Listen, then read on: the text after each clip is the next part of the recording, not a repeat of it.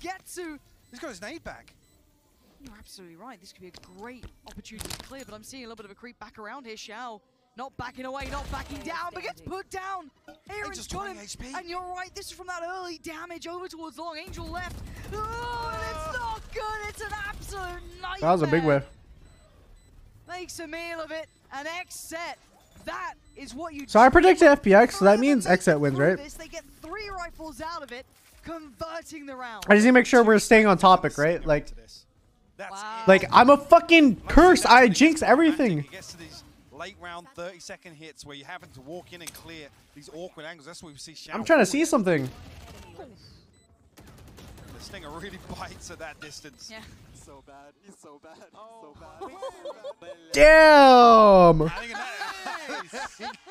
I love Damn. Situation Angel probably agree. Yeah, I don't think he's going to be opposed to that. But the man's got